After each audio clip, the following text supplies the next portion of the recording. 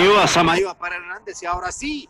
Parecía que se animaba cuando se estaba resbalando, pedía falta, no hay nada, dice Mario Escobar y se pierde el contragolpe para Santa Lucía. Atención que le va a meter velocidad ahora Diego Ruiz. Acá se viene Velázquez. Velázquez que observa, ve la subida por izquierda y esta puede ser buena. Se va a caer dentro del área otra vez que dice el árbitro, ahora no. Penal, dice Mario Escobar. Penal, señoras y señores.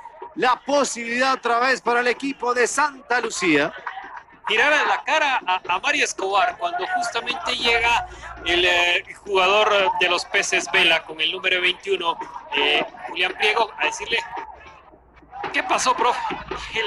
o sea, la cara de él te lo dice todo.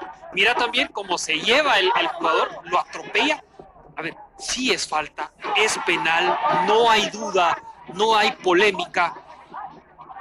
Y otra vez en una salida rápida donde tiene la claridad el jugador distinto, Jonathan Velázquez.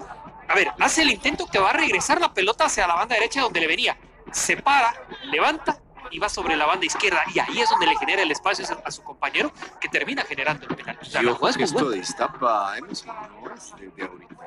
Ese tipo de errores en defensa, esas marcaciones, esas barridas, esas llegadas tarde dentro del área, han sido una constante en ese torneo de lo poco constante que ha tenido Iztapa es ese tipo de errores. Pero bueno, eh, los distintos inclinan la. Atención, se viene otra vez Acuña de derecha.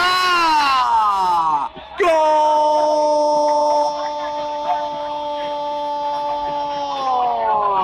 Gol de los Jaguares. Otra vez Acuña, otra vez de derecha. Engaña nuevamente a José Carlos García. Ahora la tiró al otro lado 2 a 1 está el partido a los 28 minutos de juego.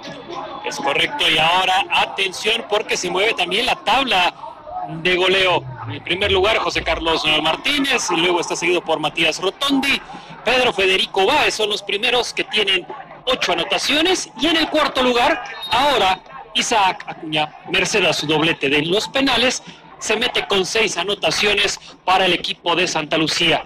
Bien marcado, creo que eh, en el, un tema global, lo digo después,